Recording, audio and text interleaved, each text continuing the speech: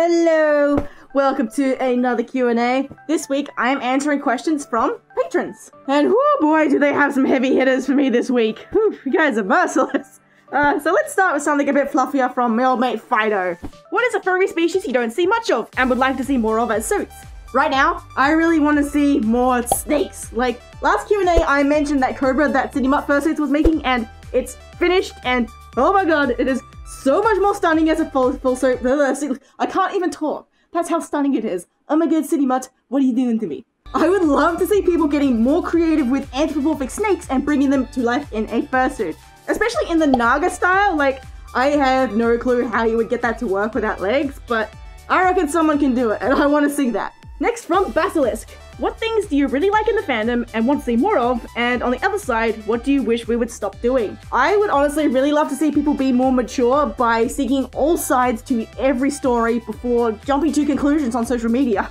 I've linked a video up in the card there and in the description that is a really, really good example of how this sort of thing can affect real people's lives. So please do give it a watch, it will give you a whole new perspective on things. Which pretty much ties into what I wish we would stop doing, which is calling out people for small, petty things that could have been easily resolved privately. Obviously, not all callouts are unwarranted, they can do a lot of good, but it is a very, very powerful thing, and we need to be very responsible and very careful with it. From Bucky, who is a fellow Australian, why does our accent confuse Americans? Apparently, we say Twitter over Twitter. Look, mate, you gotta remember that Americans haven't evolved that inverted eardrum, so they have a lot of trouble understanding our upside down frequencies. And that just makes some words sound weird to them. From Keeper the Burb, what's it like having YouTube as a job? Are there any challenges you didn't expect? Also, any advice for aspiring YouTubers? Uh, I gotta put the laptop down for this one.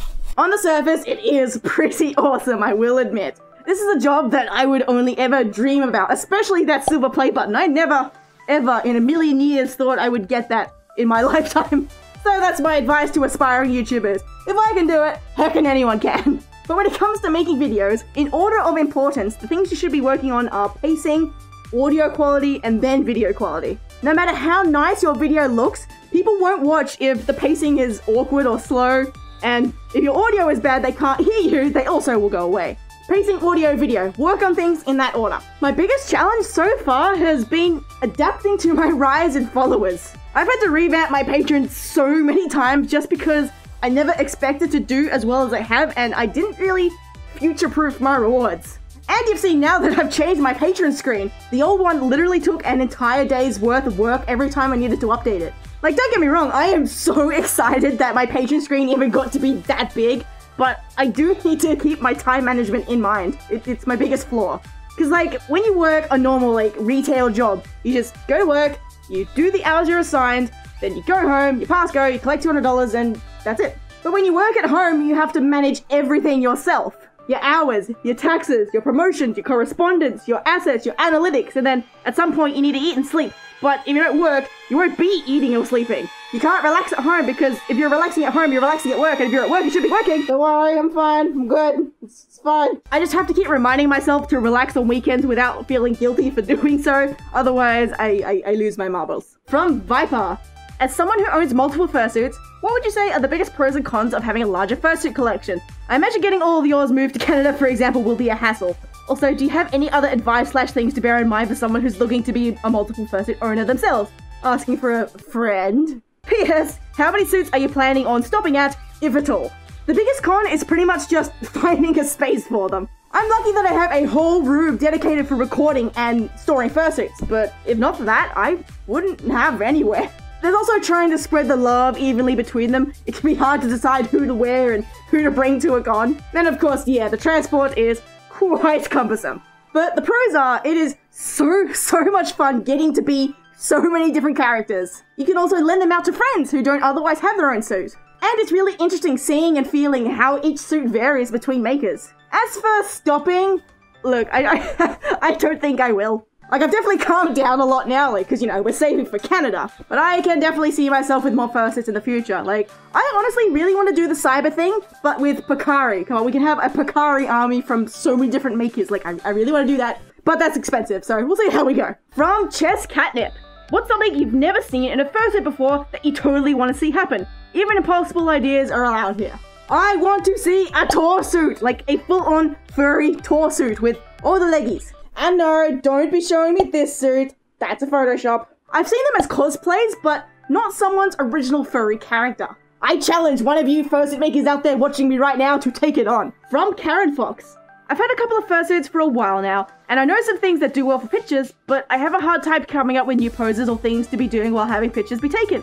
Do you have any tips or know any good places to look for inspiration? I did a whole segment on this on my fursuit performing video, so please go check that out. But basically just do whatever comes to mind, even if you think it's gonna look bad or stupid, you never know until you try it. From Anonymous Wolf Griffin. What does being a furry mean to you personally? This is a surprisingly hard question. I think to me, furry means being able to express yourself in ways that most people would find weird, I guess. To not be afraid to be yourself and to surround yourself with the creativity of others in an environment that encourages it. Yeah, I, I think that just about does it. For me, it is mostly about expression. From Pants on Flamingo, hitting me with some feels. With, with so many followers on your social medias and YouTube, I imagine it is very hard to get any solid one-on-one -on -one time with anyone new. Do you find it difficult to make any new friends in the fandom, seeing as the thousands of people who follow you want that very thing?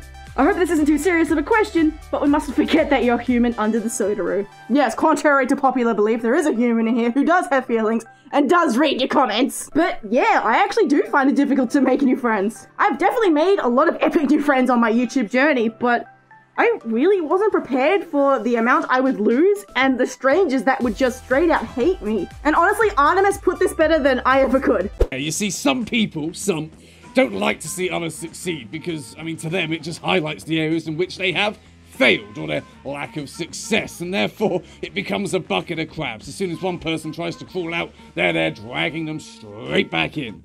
So you better get ready to have fallings out with people you thought you knew, and you better get ready for strangers to carry these wild assumptions about what you're like as a person just because some stereotype tells them so. Please do go watch that whole video if you get the chance. It's up there in the description. But uh, very severe language warning. Artemis is a very angry doggo with uh, quite the British vocabulary. Let's let's leave it there. I think it's just I have a hard time trusting people to the point that I let them into my personal life because it's it's been abused in the past. Don't let that discourage you though. Like treat me like like a stray cat. I may be a little feisty and defensive at first, but as you spend more time with me, I'll be purring in your lap in no time. From St. Gideon.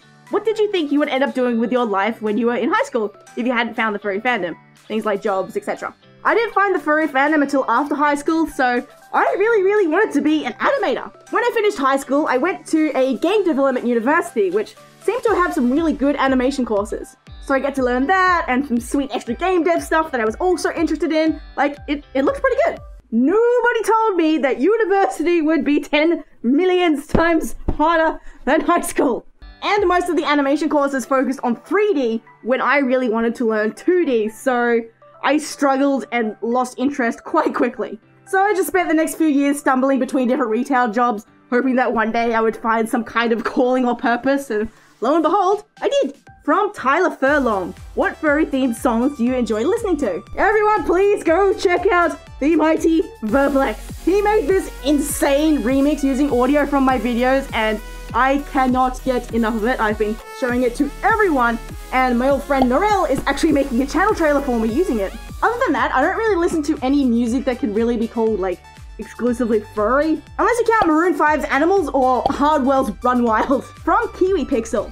What got you into the YouTube career? What do you think made you popular? Hmm, the only things that really got me into video making was, well, one, being inspired by channels like Fursuiters World and Differently, and two, just the desire to create. Like, my digital art still needed a lot of work, so making videos was another way to scratch that creating itch. As for what made me popular, uh, I, I honestly have no idea. I don't think it can really be nailed down to anything simple. I'd like to think it's my personality and content, but having consistency is really when I started to see things on the rise. Before Patreon, I would only make a video like once every couple of months, just really on and off.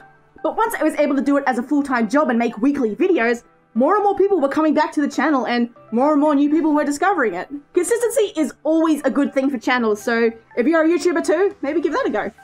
Okay, that does it for this Q&A. A patron shout out to Jade Jenkins. Thank you so much, Jade, for your support and helping to bring this video to these guys. As always, feel free to leave me more questions in the comments below with the hashtag Q&A, or you can email me, there it is, pocariroo at outlook.com. Thanks for watching, have a good one, I'll see you next time. Bye!